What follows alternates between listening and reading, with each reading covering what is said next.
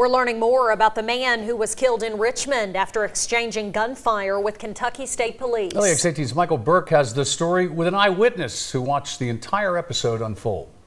They were kind of like back out towards the motel there. Garrett Richardson was hard at work at his construction job when he got an unexpected break. I heard some booming.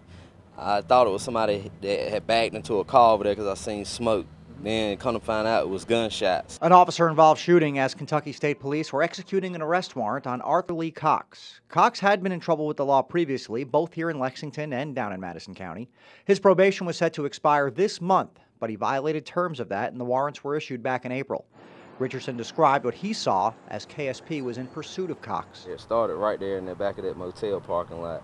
That, uh, the, I guess it was a Cadillac, a gray Cadillac. I'm not exactly sure but it just it backed up real fast and then it shot out and went that way and then it went down the hill and, and ran into the woods right there. Gunfire was then exchanged before Cox was fatally shot by KSP.